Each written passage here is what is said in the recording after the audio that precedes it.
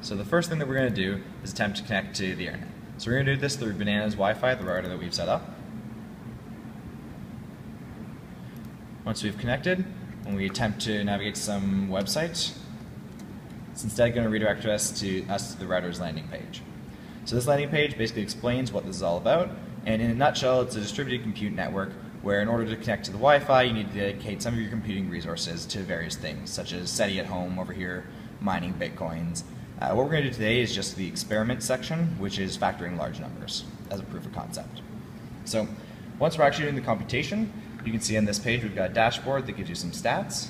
Um, as well, if you look down here, you can see the number of users connected. Uh, so we've got the mobile phone connected here as well, doing some uh, computations. Of course, the mobile phone is probably not going to be doing them as fast as the desktop. So now that we've actually started doing our computations, we're able to access the internet. So for example, we can go to Wikipedia.